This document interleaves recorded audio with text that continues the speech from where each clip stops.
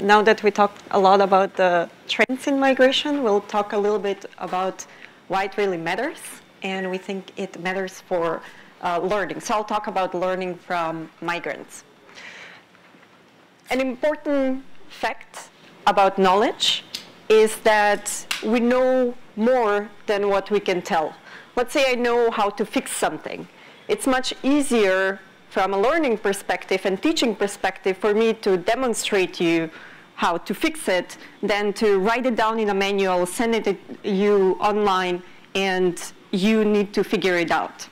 Uh, this is why in organization science, uh, people make this uh, parallel to an iceberg. They say 70 to 80% of our knowledge is tacit, or um, how we like to call it, it's know-how.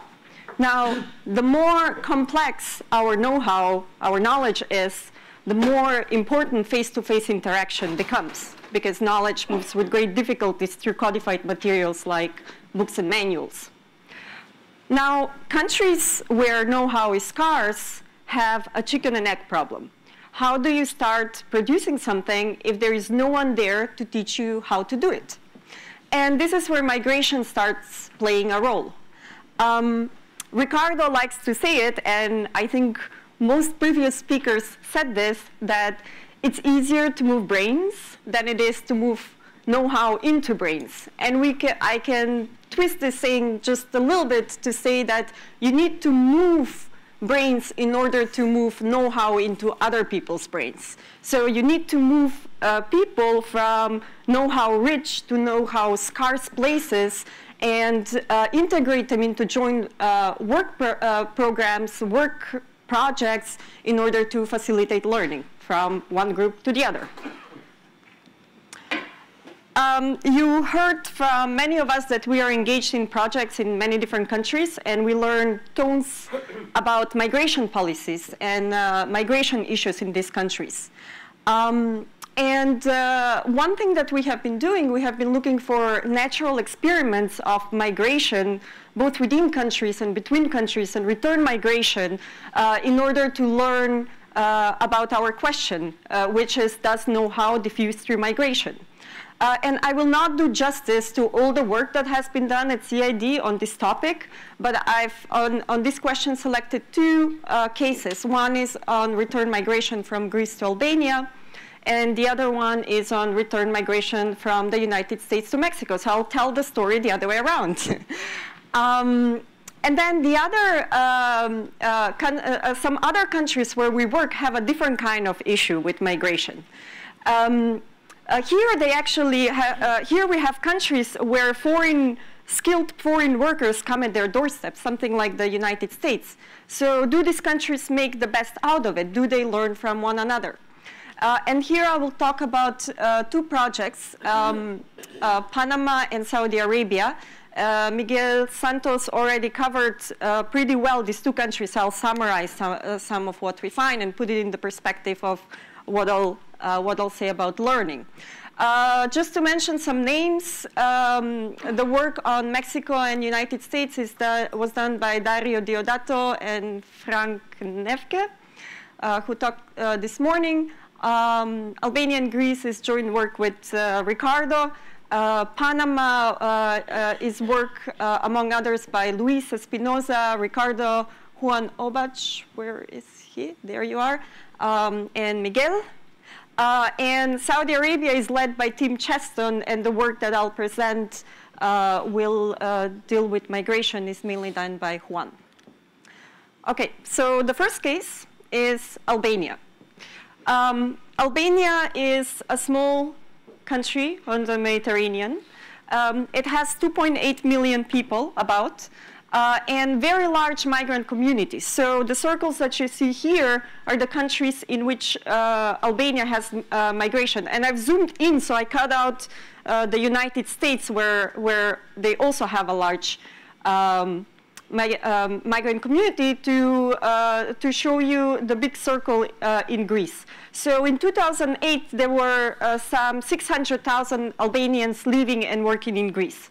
But these things changed very rapidly in 2009 when uh, Greece was hit by the sovereign debt crisis. So what you see on this uh, chart are the unemployment rates for Albanian national and Greek nationals in Greece. And what you see is that although they were very similar until 2009, by 2013 they depart, and the one for uh, Greek nationals reached 27%, but the one for Albanian nationals reached 40%. And this spurred a wave of return migration from Greece to, uh, to Albania uh, that was estimated at a lower bound of 120,000 Albanians, or 5% of the Albanian labor force. So in 2013, we were already in Albania, and we were pretty worried about this. Uh, we were seeing that the economy in Albania was also slowing down, and we were thinking, what are they going to do with this excess labor force that it's returning home? probably what will happen is that unemployment will go up and wages will go down. And what we saw was not that. Uh, what we saw was that return migrants were very different from the people that never migrated from Albania. Return migrants, for instance, were male prime age workers. They were the breadwinners of the family that went abroad.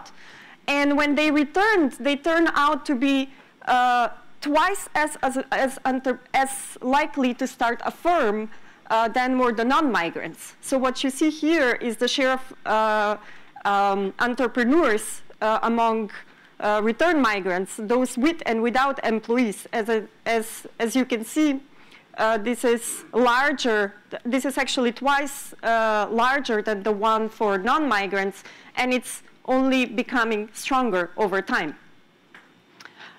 So the result of this was that in the places in which uh, migrants returned, instead of wages going down, they went up, especially for the unskilled non-migrants. And the way this happened was through uh, job creation through entrepreneurship, mainly in the ag agricultural sector. And uh, they pulled workers from non-participation into participation and from unemployment into employment. So that's Albania. The next case is Mexico. And uh, Mexico, uh, you can see by the asymmetry of, of the circles um, that most people that leave Mexico end up in the United States.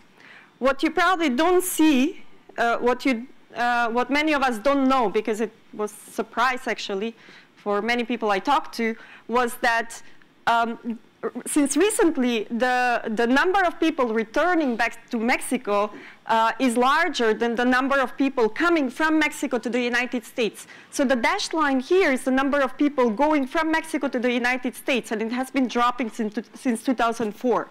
And uh, the full line is the number of people returning back to Mexico.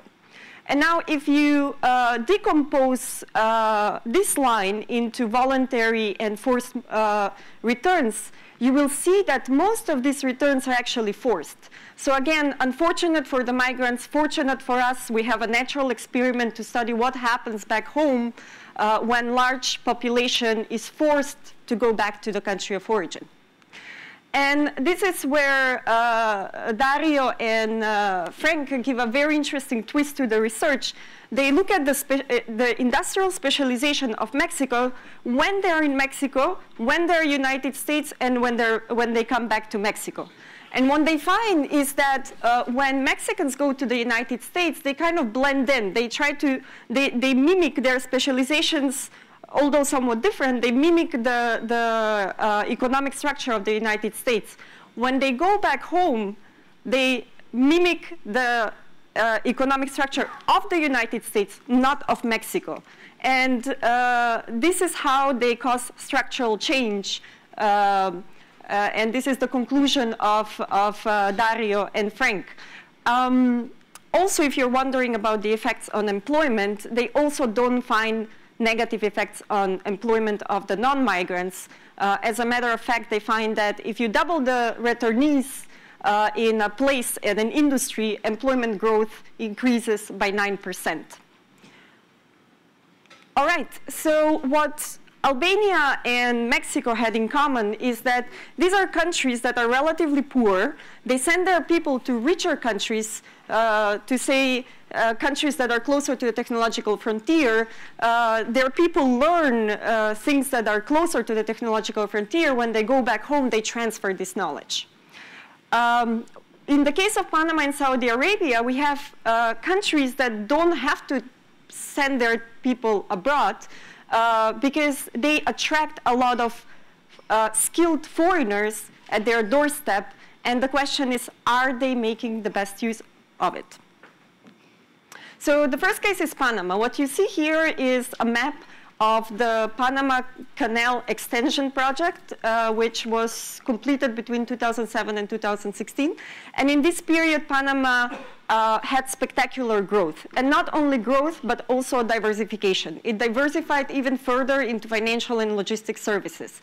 And as Miguel spoke this morning, uh, these are very uh, hungry on uh, skilled labor.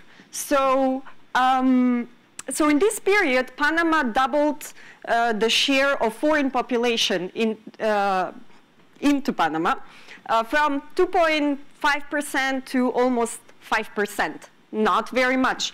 But the remarkable thing about this migration is that it came from all over the world. These are all the countries from which Panama attracted people.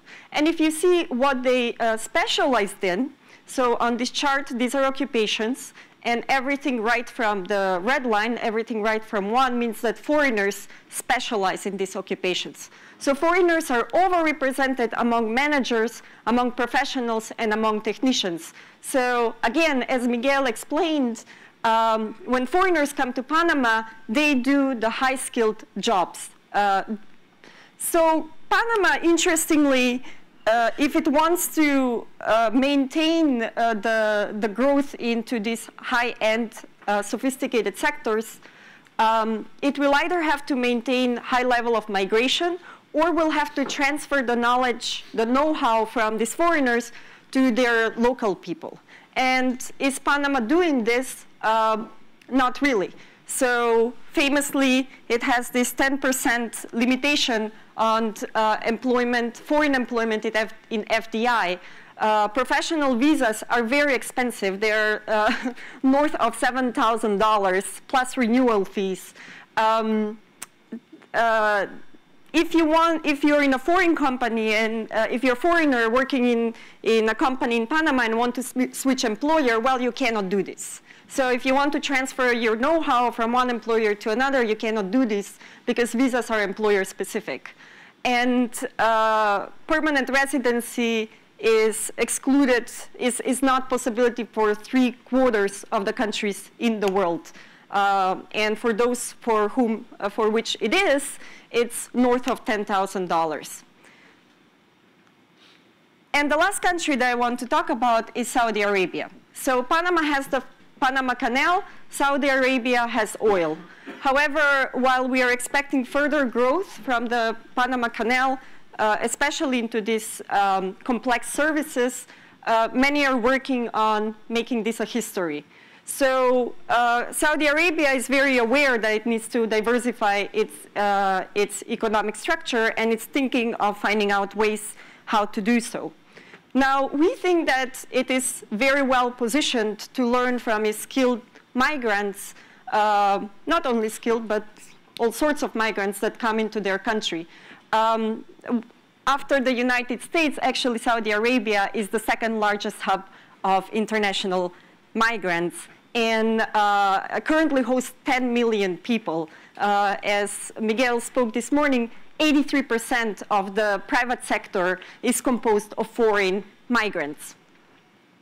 Now, if you look at the specialization of these foreign migrants, it's kind of the mirror opposite of what we saw in Panama. So in Panama, these were the occupations in which they specialized. In Saudi Arabia, uh, they specialize in the low-skilled occupations. However, the sheer size of the foreign population in Saudi Arabia means that Saudi Arabia hosts uh, about 70,000 foreign managers, 300,000 foreign professionals, and half a million foreign technicians. This is a wealth of know-how that's arriving at the doorstep of Saudi Arabia. And um, as Miguel nicely uh, explained this morning in much more detail, is Saudi Arabia making the most out of it? We don't think so. Um, the social structure is very stratified, making it difficult for know-how to flow from the foreigners to the domestic people, and not only that, but also from foreigner to foreigner if you happen to be from the, two, from the wrong country combination. Uh, similar to Panama, it also has uh, uh, employer-specific visa. So if a foreign worker wants to move from, let's say, a foreign firm to a domestic firm, that's not possible.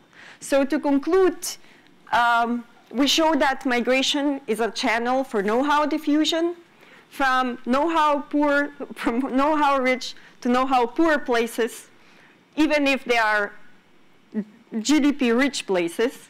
Um, however, to make full use out of it, uh, they will need to make it easy for people not to not only to come in, but also to move around among employers, and also integrate and aspire to become permanent residents, or at least, not at least, but also citizens, uh, so that they can invest the full potential that they have in the country in which they work.